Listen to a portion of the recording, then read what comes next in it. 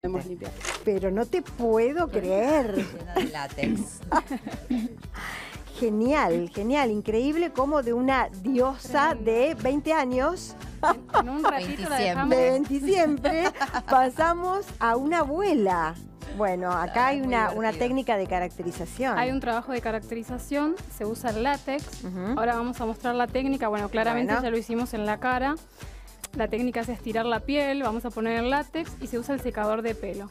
Bien, Se seca bien rápido ese producto y lo que hace es tensar la piel. Entonces cuando vuelve, nosotros la teníamos estirada, cuando vuelve hace la arruguita. bien. ¿Cuántas horas sentada Cuatro horas, Sí, ¿no? sí. Fue un montón, un montón de trabajo. Horitas verdad. seguro. que hicimos de eh, la joven Yasmín? Sí. La transformamos la en una, en, una, en una abuelita. Te quiero preguntar algo. ¿Cómo se prepara la piel para esto? Vos me decís que hay que estirarla, eh, esto le hace algún daño a la piel. ¿Cómo no, se, no, no, son hay todos que productos para humectarla? caracterizar, digamos. Bien, que no le hacen daño a la piel, está todo no, bien, Está todo pero- testeado. ¿Se pone algo? ¿Se la No. prepara la piel? O sea, tiene que estar limpia la ¿Y piel. humectada? No, no, no es necesario, digamos. Bien. O sea, es más, deberías limpiarla con que quede bien limpia, tipo como con un alcoholcito, digamos, pero alguna una agüita. Bien, agüita un agua micelar. Exacto. Bien. El agua micelar, o sea, que quede bien limpia, sin grasa. Eso es lo que necesitamos, Ok, que no tenga grasa. Y aplicamos el látex. ¿Podemos Sí, hacer con un poquito de obvio. látex eh, cómo sería, por ejemplo, en la mano? Esto, por ejemplo, a diferencia de Le vamos a otro, jugar una mano. se aplica con esponjita. Yo te lo voy a mostrar en una manito de jazmín. Teneme un segundito Dale, esto. te ayudo. Vamos a agarrar una manito de jazmín y lo que vamos a tratar de hacer es ahí. estirarle la piel. ¿Se ve ahí? Ahí. Perfecto. Ahí. Bien, estiramos la piel y colocamos Hay que estirar el la piel. producto. Exacto. Ahí está.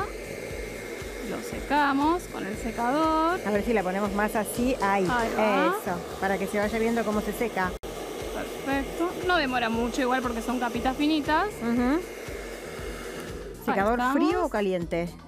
Muy caliente, ¿no? Porque está la piel de la Bueno, persona. puedes hacerlo más lejos, pero Con tibio. frío funciona igual, porque es el vientito. Y ahora volvés ahí y ya ves apenas Sí. se llega a ver Si se torna como porosa y más, más rugosa. más rugosa, o sea, la, la arruguita de la piel. Ponelo más ¿Ves? así para al que polvito ya Ahí está. va cambiando también. Fíjate que esto lo hicimos en la cara. Una vez que ya hicimos todas las arruguitas, cuando ella gesticula, ayuda Claro. a marcar. Por ejemplo, la parte de las arruguitas de la frente, ella para arriba se me como tipo de admiración. Exacto.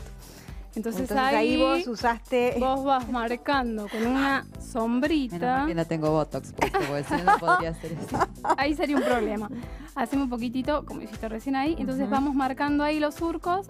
Ella mantiene un poquitito y vas marcando con el pincel. Excelente. Y ahí vamos arrugando. Y bueno, así Me quedó encantó. pobrecita Yasmín que en tres horitas. Un gran trabajo, un gran trabajo. Y obviamente después el Bueno, blanco El en blanco ayudó también pestañas. porque era una persona adulta. Bueno, ella todavía no le hicieron el pelo, pero ella Ujú. tiene el pelo canoso. Entonces, lo que hicimos es que parezca cana en la ceja y bueno, también las pestañitas, blanco, porque todo envejece. Así Increíble, un gran trabajo, ¿eh? Felicidades.